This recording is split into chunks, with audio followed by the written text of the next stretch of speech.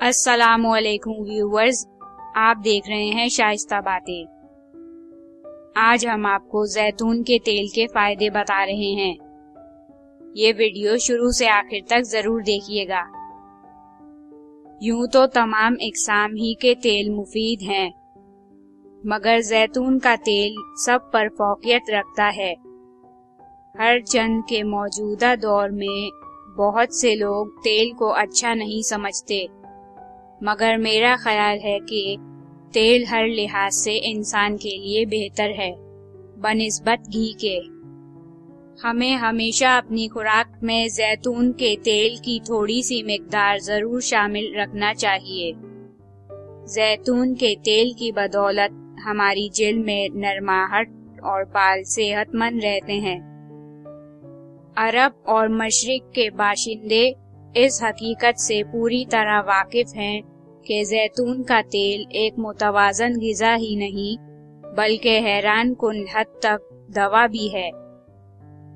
इसमें vitamin E वाफिर मकदार में पाया जाता है।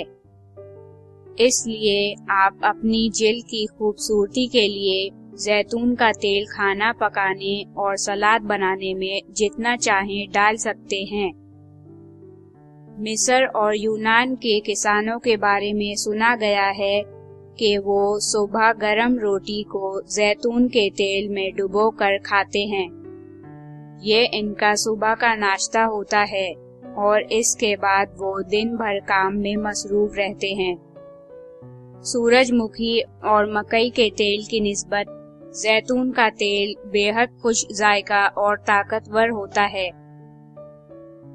आप ये सुनकर हैरान ज़रूर होंगे कि जैतून के तेल की ये खूबी बहुत अहमियत की हामिल है कि ये कैंसर से बचाव में भी मुआविन साबित होता है।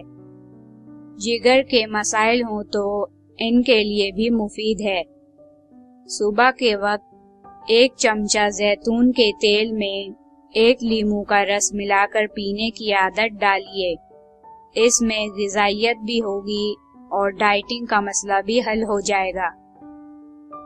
कोशिश करें कि खाने में पके हुए तेल की नस्बत, कच्चा तेल, सलाद वगैरह के साथ खाएँ, क्योंकि खालिश जैतून के तेल की अफादियत, पके हुए तेल की नस्बत ज़्यादा है। व्यूअर्स, हम आपके लिए इसी तरह अच्छी अच्छी वीडियो लाते रहते हैं। तो हमारे चैनल को सब्सक्राइब करें और बेल आइकॉन पे क्लिक करें ताकि आपको हमारी हर वीडियो की नोटिफिकेशन सबसे पहले मिले। हमारी वीडियो को लाइक करें और शेयर करें। शुक्रिया।